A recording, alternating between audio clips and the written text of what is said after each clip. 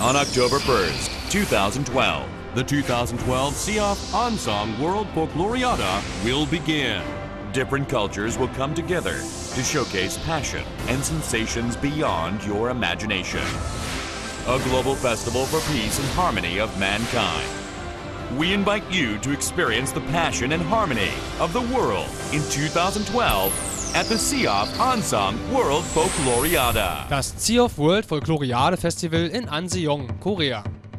CIOF, das heißt der Internationale Rat für Organisation von Folklorefestivals und Volkskunst und ist eine internationale Nichtregierungsorganisation.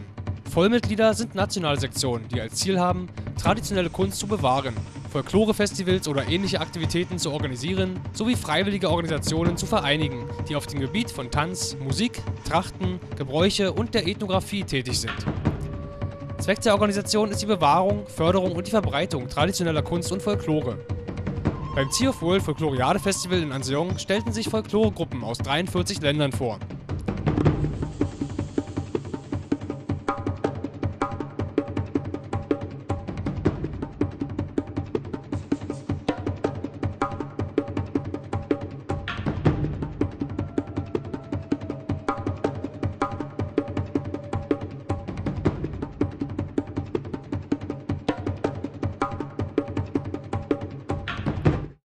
Traditionelle Kunst wie zum Beispiel das Harzer Jodeln, das Peitschenknallen oder die traditionelle Harzer Folklore. Ein Stück Kultur aus der Heimat, welches die Talenser Musikanten auf dem diesjährigen Sea of World Folkloriade Festival in Anseong präsentieren.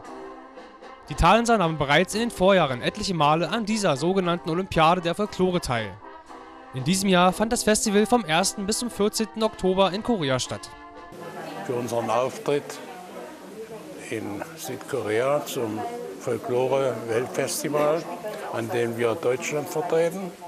Und wir haben heute noch mal auch die Presse mit eingeladen und Sie auch mit eingeladen, um, damit Sie noch mal sehen, was wir alles in den äh, Wochen äh, erarbeitet haben auf den Gebieten der Musik, auf den Gebieten der, des Tanzes, des Jodelgesangs, des Peitschenknallens, um eine breite Palette des Harzes von unseren Volkskünstlern dort zu zeigen. Schon seit dem Herbst im letzten Jahr bereiten sich unsere Talenser auf diese Veranstaltung vor. Hier beim letzten Training, eine Woche vor dem Abflug nach Korea, wurden noch die letzten Feinheiten im Konzept abgestimmt. Hier trainierte die ganze Gruppe am finalen Ablauf des Programms. Unter den kritischen Blicken des Ehrenvorsitzenden Hans-Joachim Wiesenmüller, der die Fäden zwischen der Tanzgruppe, den Talenser Musikanten, dem Peitschenknaller und dem Harzer Jodlermeister zusammenhält, übten die Talenser bis spät in den Abend. Wir haben eigentlich jetzt 60 Jahre schon, seitdem wir das machen. Früher im Clubhaus der Hüttenarbeiter.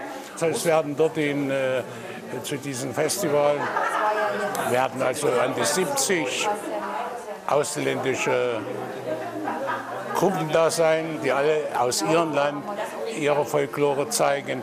Aber ich denke, es wird ein großes Programm des Folkloristischen, der folkloristischen Tätigkeit geben. Und äh, bin schon sehr gespannt, wie also alles verläuft. Man sprach ja davon, dass an die halbe Million Zuschauer dort sein werden bei diesem Festival. Und ich glaube da schon, dass auch unsere Dinge auf unsere Art, wie wir es vorstellen, gut ankommen wird. Der Grundgedanke für das internationale Treffen beinhaltet die Erhaltung des Friedens und der Verständigung der Völker sowie der Prävention gegen Fremdenfeindlichkeit, Gewalt und Rechtsextremismus. Es geht nicht darum, wer der Beste ist und es werden auch keine Medaillen verliehen. Und trotzdem hatten die Talenser den Ehrgeiz, sich selbst dem Publikum in Höchstform vorzustellen. Und knapp eine Woche vor dem Festival spielt so langsam auch das Lampenfieber eine Rolle.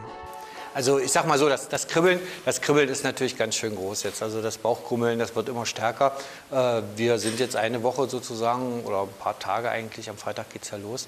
Äh, ja, wir haben über Wochen, Monate geprobt und jetzt ist die Endfassung so gut wie fertig. Es gibt noch drei, vier Ecken, wo wir ein bisschen äh, dran arbeiten müssen, aber das werden wir sicherlich dann äh, bei der Konzentration beim Auftritt natürlich meistern, denke ich mal. Aber wie gesagt, das ist, wird schon langsam ein ganz komisches Gefühl. Es kribbelt ganz extrem. Ne? Doch davon sah man bei den Proben selbst nicht viel. Ich habe eigentlich ein gutes Gefühl. Also wie gesagt, äh, wir haben jetzt die, die Tänze, es sind fünf Tänze, die wir zusammen, wobei ein Tanz ist so ein bisschen variationsmäßig, gleiche Melodie, zwei, drei andere äh, Ausgänge. Aber im Großen und Ganzen läuft es eigentlich, sage ich mal, optimal. Also wie gesagt, wir wissen, wann die Tänzer wo sein müssen. Die Tänzer wissen, äh, wie sie mit uns umgehen müssen, geben auch mal per Augenkontakt zu verstehen, ob wir schneller oder langsamer spielen müssen, weil das ist auch immer ganz wichtig. Das heißt, der Blickkontakt ist da und äh, ja, doch, also äh, wir haben einfach auch zusammen ein gutes Gefühl. Jeder hat für sich die Einzelproben gemacht, jetzt die letzte Generalprobe vorm Abflug äh, ist doch eigentlich ganz gut gelaufen. Also ich meine, es ist schon, es ist schon eine, eine, wahnsinnige Geschichte, Deutschland vertreten zu dürfen. Dort, wir sind jetzt, sag ich mal, 21 Leute, die da hinfahren. Äh, es ist doch eine relativ große Truppe. Äh, so erstmalig mit Tanzgruppe, Orchester, äh, Jodlermeister, Peitschenknaller. Das Schöne ist, dass wir alle gemeinsam an einem Thema arbeiten, nämlich an der Harzer Folklore und dass wir uns dadurch natürlich auch ergänzen, sowohl musikalisch als auch, wie wir festgestellt haben, menschlich. Also das ist schon, sage ich mal, auch im Vorfeld ein lustiges Völkchen. Die Harzer sind ja von Hause aus, sage ich mal, sehr gesellig und daher, sage ich mal, ist das auch eine schöne Geschichte, weil wir werden zusammen da bestimmt ein paar tolle Tage erleben. Und man kennt sich ja auch. Ne? Also wie gesagt, das ist, wird, wird, wird ein super Ding werden, glaube ich schon. Und ob sich das letzte Training ausgezahlt hat und wie die ersten Eindrücke nach der Ankunft in Korea ausgesehen haben, zeigen wir Ihnen dann in der nächsten Woche. Detlef Böhnstedt, der mit den Talensern zusammen nach Korea geflogen ist, begleitete die Gruppe während des Festivals und stellte uns das Filmmaterial zur Verfügung.